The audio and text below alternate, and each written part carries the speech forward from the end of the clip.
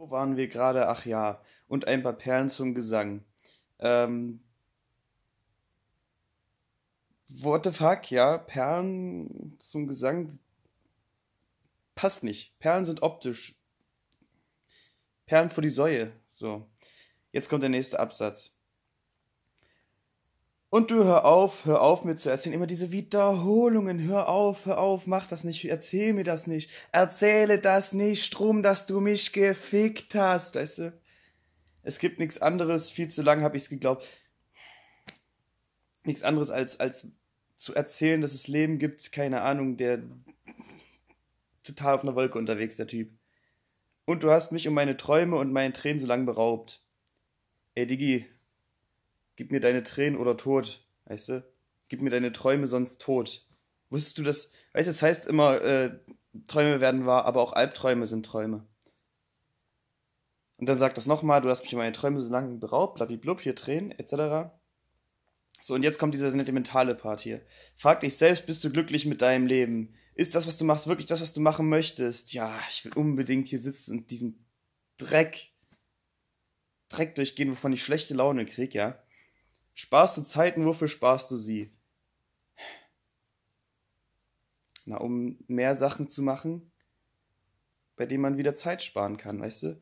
Die Engine des Lebens stellt halt die schönste Grafik dar. Wenn es einen Film über dein Leben gäbe, würdest du anschauen, würde er dich faszinieren. Und da frage ich mich wiederum, wenn ich jetzt einfach mich aufs Sofa setze und mich filme, würde ich es mir angucken. Und ja, ich gucke es mir nochmal an. Weil stell dir mal vor, ich habe jetzt hier einen Popel kleben oder so und stelle es ins Netz. Natürlich muss ich mir das nochmal angucken. By the way, habe ich hier. Oh Gott, oh Gott. Sieht aus wie ein Penner. So. 6 Euro für eine Stunde auf der Arbeit. Erster Fehler. Was würdest du zahlen für eine Stunde in einem sonnigen Tag im Park? Ja. Ähm, Geld ist quasi für Arbeit der Gegenwert.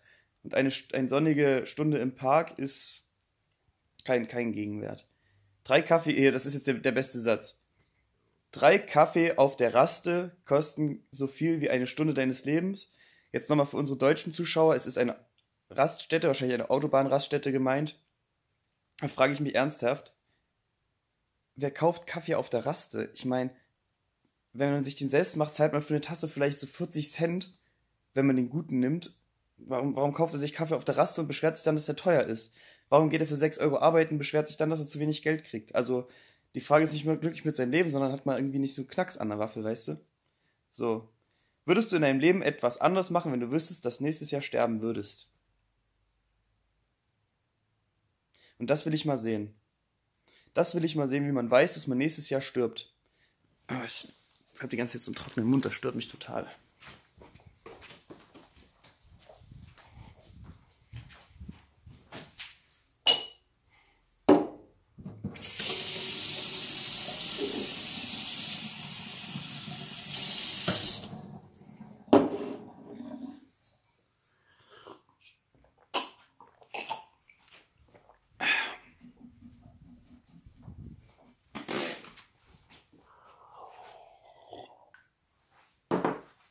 Hm?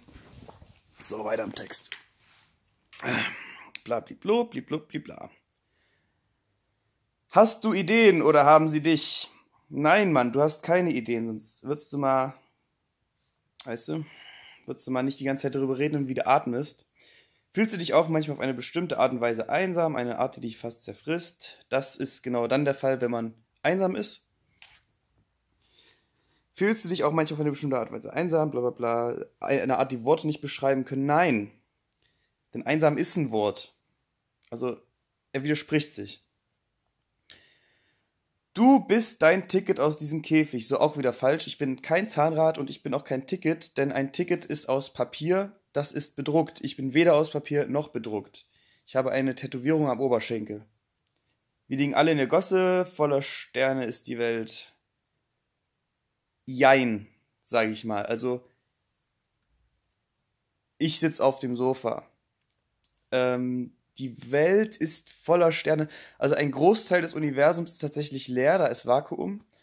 Äh, man kann natürlich sagen, es sind sehr viele Sterne unterwegs, aber verhältnismäßig ist die Welt nicht voller Sterne. Es findet sich hin und wieder mal ein Stern. Äh, dann sagt er das mit der Gosse, also wenn er es mehrmals sagt, man glaubt es ja irgendwann. Er glaubt, dass er äh, uns damit überzeugen kann, aber nein, ihr sitzt gerade vor dem PC, ich sitze auf dem Sofa, keiner von uns ist in der Gosse unterwegs, glaube ich. Klar kann man sich das Video in der Gosse liegend auf dem Smartphone angucken. Smartphone? Was ist das eigentlich? So Smart, Smartphone. So, so, so Schaum, der dich angreift.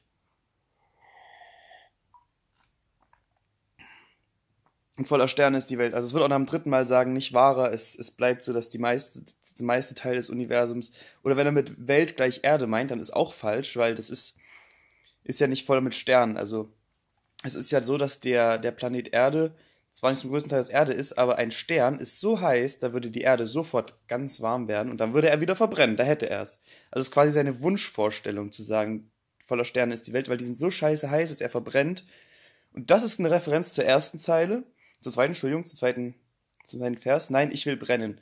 Also er würde sich wünschen, auf der Sonne zu leben, äh, fucking heiß, als äh, ein Abenteuer am Nordpol. Dankeschön, danke fürs Einschalten. Robin, lösch dich.